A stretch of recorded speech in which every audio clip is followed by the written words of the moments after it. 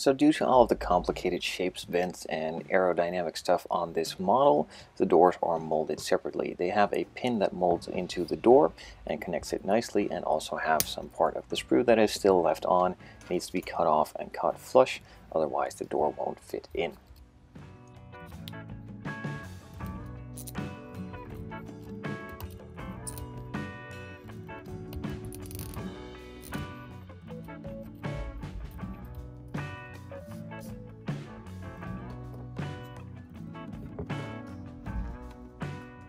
With that removed, the door could be test fitted to see if it needed any adjustment. It needed a little bit of sanding on one of the intersections that connected together as it was a bit too high and therefore the door wasn't really lining up straight. So that was sanded down a little bit with a sanding stick, another test fit or two, a bit of sanding, and it fit in perfectly fine afterward. The door on the other side had a similar problem and therefore I also did that same fix as I did on the other side, though this one needed a bit more sanding on the top sections of the door front and back in order to get them level with the rest of the bodywork, which also was a quick and easy fix. A lot of the panel lines on this model are pretty much perfect and didn't need any adjustment or extra depth.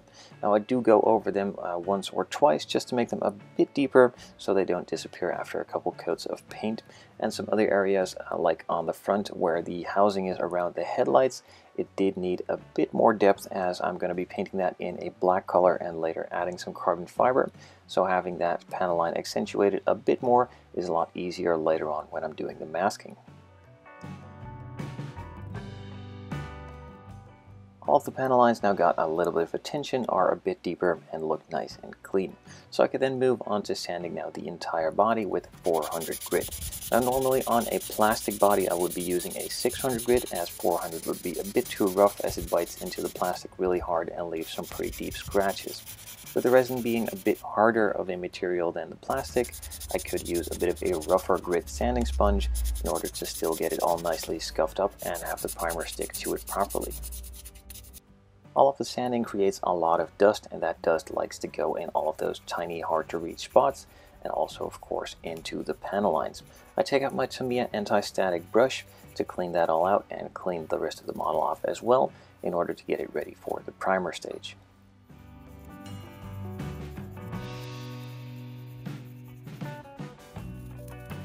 The body is then placed on top of a Tamiya spray stand. I have links in the description if you're interested and I blow over it with some air through the airbrush to get all that loose dust that is still on it.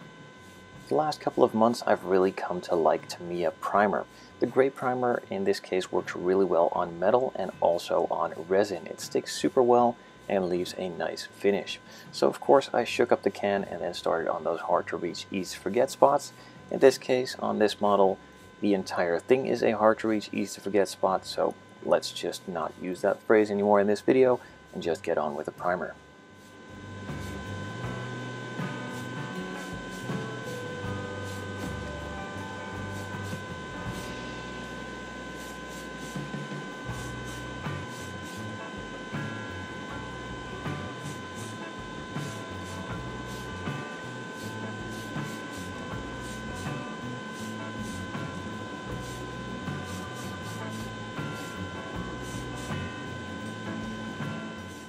After applying the first coat, I quickly checked over the model to see if there were any imperfections that needed to either be sanded out or fixed before applying a second coat.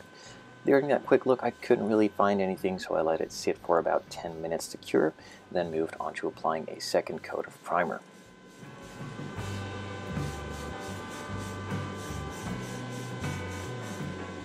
The second coat went on just fine like the first one, though a couple of dust spots appeared and also a weird spot on the front bumper, and that of course needed to be fixed before moving on to paint. Now luckily I can sand this out with a 3000 grit sanding sponge or just some 3000 grit sandpaper to fix it, get the primer nice and smooth, and have a perfect base for the color to go on top of.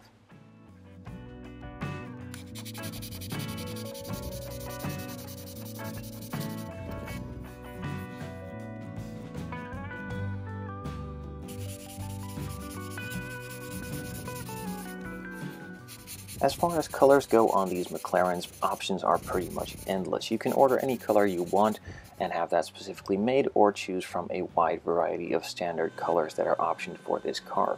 A lot of those colors are really bright, some oranges, some reds, even some blues.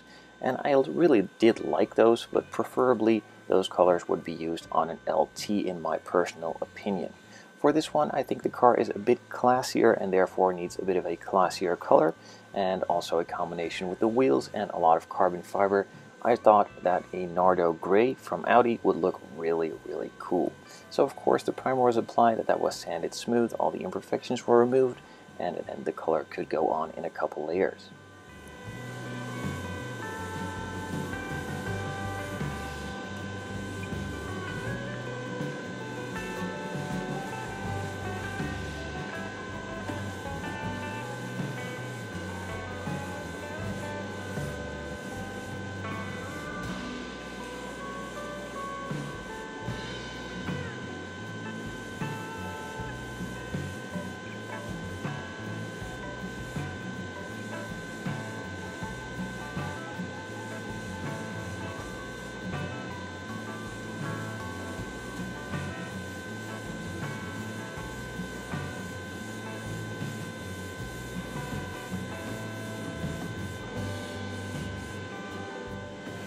The Nardo Gray is covering really well, so after the first coat I let it sit for about 10 minutes to cure and then applied a second coat. The second coat covered it pretty much all the way, but just to be sure, as always, I like to wait another 10 minutes and apply a third and final coat of color. The third coat of paint is also applied. I then set the body aside to cure overnight before masking it off. I wanted to be absolutely sure that the paint was properly cured before applying a lot of masking tape on top of it as when the paint is still a bit uncured the masking tape can leave some weird imprints or just rip it off entirely and that's not what I wanted so just to be sure I set it aside overnight to dry and then moved on the next day with a lot of the masking. In the front, I'm of course masking out the surrounds for the headlights, which will be painted black, and then in a later stage I will be applying some carbon fiber decal to them as well, and then also moved on to some vents on the side, and finally the roof as well.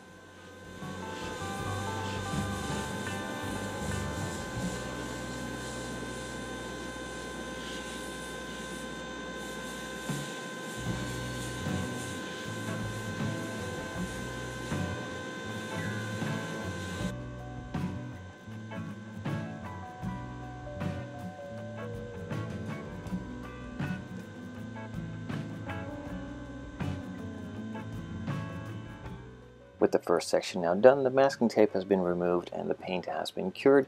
I could move on to the next section.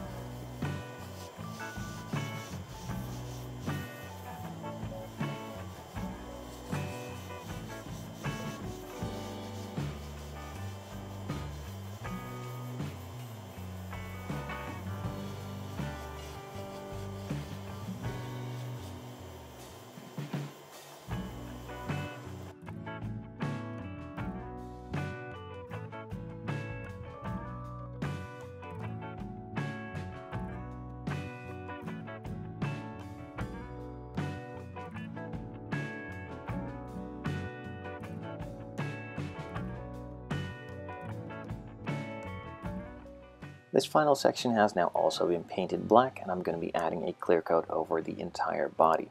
Now normally I would not do this before decals, but since it's a lot of decals on a lot of different areas, I just wanted to give the body and the color a bit of extra protection and also help the decals place themselves a bit easier. So I'm just going to apply a thick coat of clear right now, set that aside to cure for a couple of days, and then next week when I get back to it, I will sand it smooth with some 3000 grit and then start masking off all the areas that need the carbon fiber to be applied to it, create all the templates, and start the decaling work.